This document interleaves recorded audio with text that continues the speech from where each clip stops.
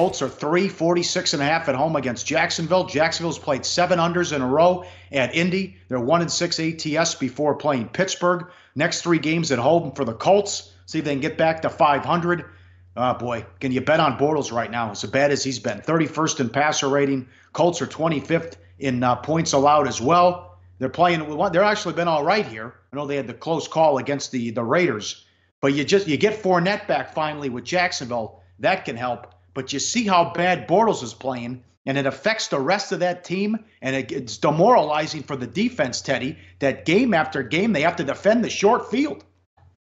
Sure. I mean, look at the scores. You know, they lose 30 to 14, 40 to 7, 20 to 7, 24 to 18, their last four ball games. You know, um, all of them. The offense didn't work. The defense didn't work. I guess they played their best game of the bunch against the Eagles at Wembley. And even that game, you know, rallying from behind, trying to get it together. The Jags are number yeah. 30 in turnover margin this year. Even if Fournette is back, okay, even if Carlos Hyde has an impact this week, it's still Luck versus Bortles, advantage Indy. But and Fournette's not uh, hasn't been 100% cleared. Uh, I they do think he's going to play. He's been in practice all, all week, but it's not a done deal right now. But you talk about the Jags off those four losses, and Indy went into the bye off two blowout wins. Now, when you say, "Oh, that blowout wins," well, what'd they do? Well, let's see. They lost to the Jets and they beat the Bills and they beat the Raiders. So we're not talking about a team that's been dealing with quality foes. The Jags have been losing to quality foes. Indy's been beating on the weak.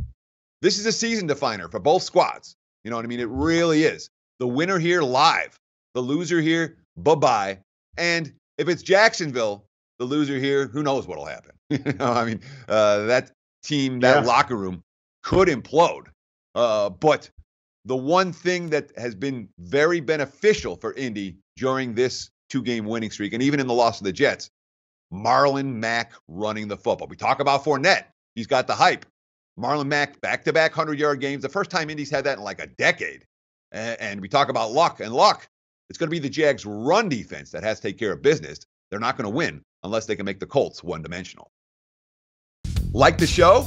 Help us keep the lights on. Please make sure to comment, share, and subscribe to all the Sportsbook Review videos. Thanks so much. Best of luck. Enjoy the games.